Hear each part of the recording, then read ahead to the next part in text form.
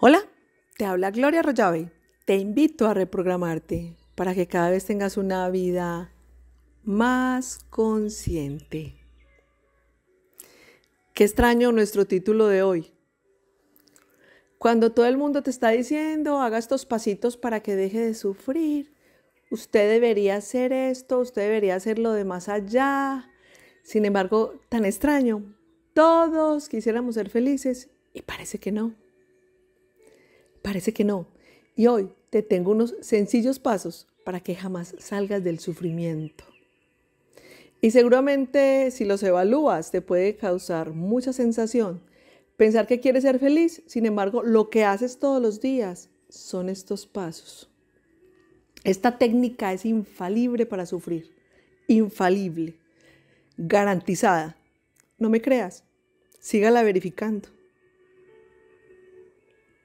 Lo primero, cuando te pase alguna situación en la vida, enfócate solamente en el problema y no le busques ninguna solución. Mira lo horrible que es, lo espantoso. Y si alguien te ofrece alguna salida o te sugiere algún cambio, sácalo a patadas y dile que es que él no sabe qué es lo que tú estás pasando. Y quédate en tu sufrimiento. Otro buen paso. Mantente concentrado en ese sufrimiento en el mayor tiempo posible y no pienses en otra cosa.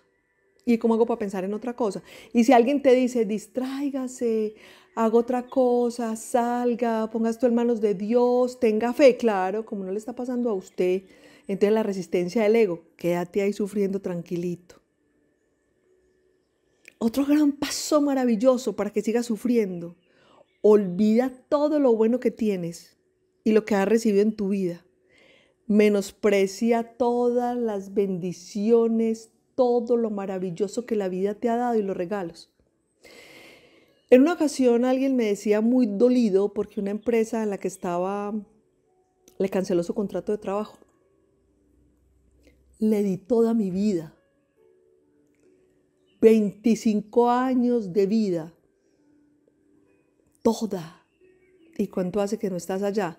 10. ¡Wow! Ya vas para el otro 50% enojado por eso. Le di toda mi vida. ¿Y esos 25 años que recibiste tú? Ah, pues tengo una casa propia, le pude dar estudio a mis hijos, eh, llegamos a viajar, tengo algunos ahorros. Tú le diste toda la vida y a cambio de eso recibiste una contraprestación. ¿Quién nos dijo que se tenían que quedar con nosotros? ¿A qué hora se vuelven malas las cosas cuando no valoramos? En estos días fue muy especial porque me sucedió algo que yo no me esperaba. Sin embargo, bueno, alguien que me estaba haciendo un trabajo de consultoría, eh, fue necesario cambiar algunas cosas y en el cambio de esas cosas fue necesario cambiar de persona. Jamás me imaginé la ira, la furia de esta persona cuando yo le dije con todo el amor y todo el respeto, mira, necesitamos este método de trabajo, necesitamos esto y encontramos esto otro. Te agradezco mucho. Jamás pensé que, jamás pensé que cuando tú decides hacer un acuerdo con alguien, el que sea, el día que se termina el proceso, que había que terminar, nos teníamos que enojar. Yo me quedé tan sorprendida, yo decía, no, no, pues qué pena, mi paz interior sí es todo. Mi paz es todo. O sea, ¿a ustedes les ha pasado que hay personas a las que ustedes no les cancelan un contrato o no les dicen no más porque fuera de que es complicado comunicarse con ellos, les da miedo decirles? Eso nos atrapa nuestro ego y nos quedamos ahí sufriendo. Y el otro, cuando usted le termina el proceso, usted fue lo peor. ¿A qué hora se volvió lo peor? A la hora que usted dijo, de verdad que aquí estoy perdiendo mi paz. Y hay entrenamientos que no necesitamos. No todos los entrenamientos que nosotros necesitamos son los que nos estamos aguantando. Cuando usted tiene una persona, por ejemplo, un colaborador, un consultor, alguien que lo apoya, que no cumple con las cosas, que cada que usted le pide algo le contesta con tres piedras y a usted le da miedo, ya está hablando, usted está entrando en una situación de ego. ¿Por qué? Porque es que la gente le dice a uno, aprenda ahí, aprenda, vení, que voy a aprender aquí, es que estamos trabajando, ¿cierto? Voy a aprender a tomar decisiones. Y cada vez que yo me doy más cuenta que mi decisión es firmeza, es decir, de verdad, muchas gracias, te aprecio, lamento que te incomodes tanto, lamento mucho que en este momento yo sea la, la peor persona de ti para el mundo, de la peor persona del mundo para ti. Sin embargo, yo te sigo apreciando, te, te, sigo teniendo cariño y te sigo teniendo en un excelente concepto. Lo que pasa es que no tenemos que ser compatibles para todo. Una forma también de mantenerse en el sufrimiento es querer que lo, incompatible sea compatible. Entonces alguien me decía, mi Gloria, pero yo tengo un hermano que nos la llevamos súper bien, somos los mejores, los más, y apenas montamos un negocio juntos, se dañó la amistad. Claro, es que ustedes son compatibles para ser hermanos, no para negocios. Las compatibilidades hay que diferenciarlas muy bien. Entonces, una buena forma de mantenernos en el sufrimiento, no tome decisiones, no sea firme y déle miedo a lo que el otro diga o haga, porque usted está pensando en usted. Hay otra forma maravillosa y es, justifique siempre sus preocupaciones. Defienda su sufrimiento ante cualquier ataque de tranquilidad. Defiéndalo. Es que usted no se imagina lo que yo siento. Usted no ha pasado por esto. El ego siempre, como viene protegido contra borrado automático, hasta que no hagas un trabajo, no se va a vaciar ese montón de basura que tenemos en esa mente. Entonces el ego se justifica todo el tiempo en el sufrimiento, pensando, como nos engañaron, que sufrir es ser buenos, yo con este sufrimiento me santifico. ¿Cómo te vas a santificar si no te alcanza la energía para alcanzar la comprensión de lo que necesitas aprender? Otro buen paso. Repítete todos los días pobrecito yo, cómo hago las cosas con amor y mire la gente cómo me paga, nadie me comprende, todo el mundo tan mal agradecido, la amistad no existe, los demás no me valoran. Y lo otro, el caldo así de cultivo más chévere, más chévere, más chévere para que además de estos pasitos armen combos de sufrimiento busque personas con problemas iguales o peores a los suyos.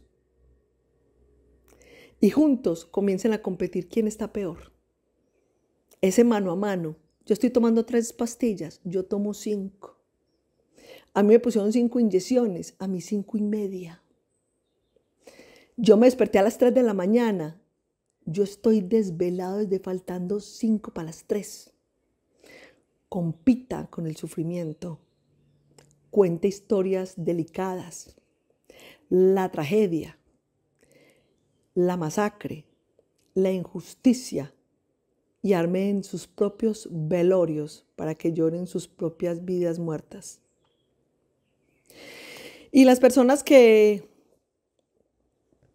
están alrededor, por frecuencia, por resonancia, automáticamente, si están en una frecuencia de amor, ni se les ocurra decir, como se volvió de creída que no me conversa. Claro, como consiguió plata. Claro, como ya se baña. Claro, como le crecieron las pestañas, deben ser postizas, por eso no saluda. La mayoría, la mayoría de las sociedades y de las culturas ve como obvio y aceptable el sufrimiento es obvio, ¿cómo no voy a sufrir? Obvio. Obvio, porque si termina una relación de amorosa, hay que sufrir. Obvio por un diagnóstico, obvio porque me despidieron de la empresa, obvio porque mis hijos no hacen lo que quiero, obvio porque el vecino me miró así, obvio porque no soy como me gusta, obvio sufrir. Si te dieras cuenta que no es tan obvio, si decidiéramos seguir unos sencillos pasos del aprendizaje. Se está terminando junio. Junio del 2021. Ya viene julio. Maravilloso. Vamos con toda. Vamos con todo, reseteadas, renovadas, descansadas, con este maravilloso proceso de amor que la vida nos encomendó para verificar. No estamos libres de verificar sin embargo, sí nos podemos liberar de quedarnos atrapados en el sufrimiento. Te habló Gloria Rollave. ¿Identificaste alguno de esos pasos que practicas? Si vas a sufrir, sufre a la perfección. Y si vas a ser feliz, asume tu vida a la perfección. Te deseo un feliz y maravilloso despertar de conciencia.